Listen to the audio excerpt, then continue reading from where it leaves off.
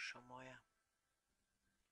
Stojim pred tobom gola do bola, u potrebi da ne trebam, u želji da ne želim, u snovima da ne sanjam, najavi da ne osjećam ništa.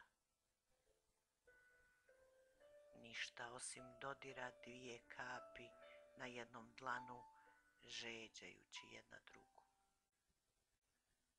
Dvije pletenice iste kose, ispletene pripadanjem.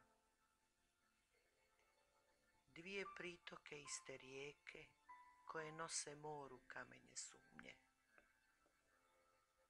Dušo moja, nitko ti ne može podariti ono što u sebi nemaš, samo čuvati ono što imaš.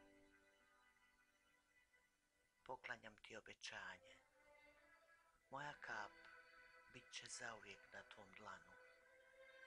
Moja pletenica bit će ispletena kao i tvoja.